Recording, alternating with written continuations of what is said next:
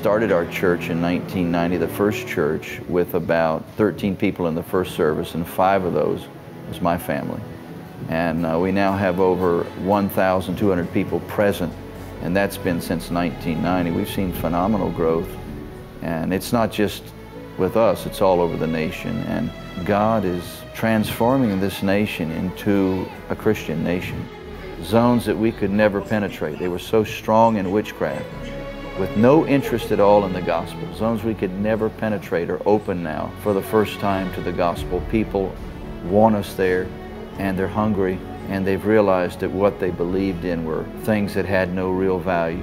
Jesus' ministry was threefold preaching, teaching, and, and healing, performing miracles, basically giving the people something that would draw them in and providing their need. Many people will not listen without a door, and we feel that medical science has opened up many, many doors throughout the world because people hurt the same way. And when you minister to their physical body, it opens the door to their spirit.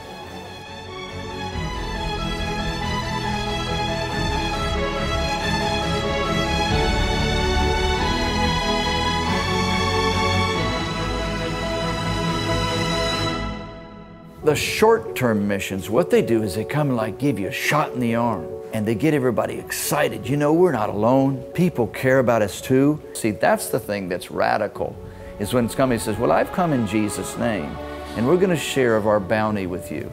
Just as in the body of Christ, we all have a, a function. That, you know, we're, we're all different parts of the anatomical makeup of the body of Christ.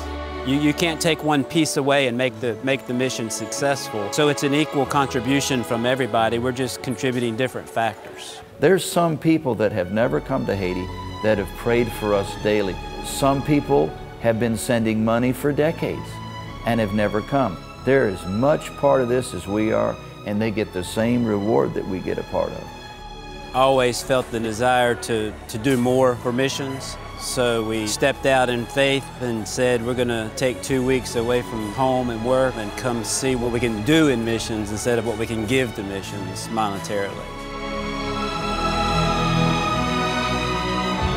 People are getting healed. People are getting delivered. People are getting transformed and, and people see it. And they say, you know what? That's real and I want to be in on it.